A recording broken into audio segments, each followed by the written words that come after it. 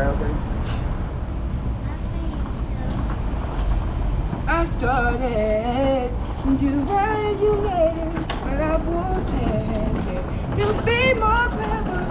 I wanted to get down, sweet talk you, hey baby.